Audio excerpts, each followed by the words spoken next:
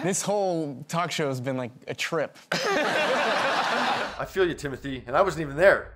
I first got wind or became aware of this incredible panel on Graham Norton's couch on Friday from Cher's Instagram. And yeah, when I saw it, I went, whoa. I don't know what's going on. Yeah, Tom's talking about gravity. Like, I'm up here with Cher and Julia Roberts.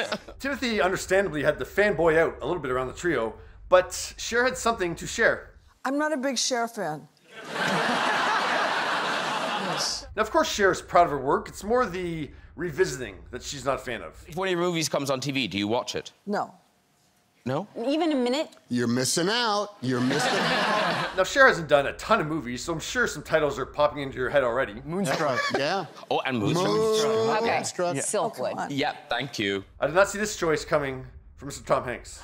Motion picture perfection. Not bad. Mamma Mia 2. Fernando? When she busts out Fernando, the world stops. Uh-huh. Oh. I was so afraid, Fernando. Oh. Suns clash with the stars. There was something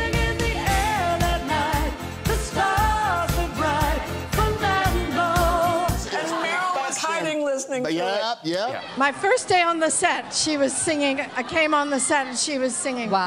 Fernando. We never thought that we could lose. There's no regret. That was the first day. And I thank knew. God I didn't know.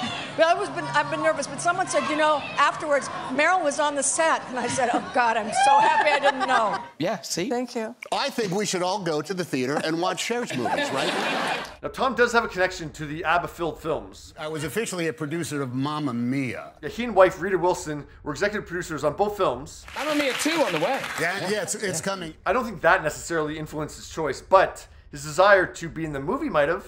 I actually tried out for the role as I wanted to hire myself. but my singing voice would have scared the children. Now, I don't really believe Hanks, because he said this on the Graham Norton show in 2018 when he was promoting The Post, and Graham asked him this. And have you ever come close to working with Meryl Streep before? Not a whit. Uh, actually, I was officially, thank you. Oh, I had, had to say the title of the movie first. And that's not the only reason I think he's joking, because we've heard Tom sing in a couple movies. It's a beautiful day in this neighborhood, a beautiful day for a neighbor. Say, we got it! Oh, we got it! You might think, well, that's not very good. But dare I remind you what we did here in Mamma Mia? Oh, God. It used to be so nice, it used to be so good. Yeah, Tom, please tell me you're joking. I even think Pierce Brosnan would be like, come on, Tom. but yeah, what do you think of Tom declaring Fernando as, what do you say? What do you call it? Motion picture perfection. And should he do a musical? No, I think you're good, Tom. Oh,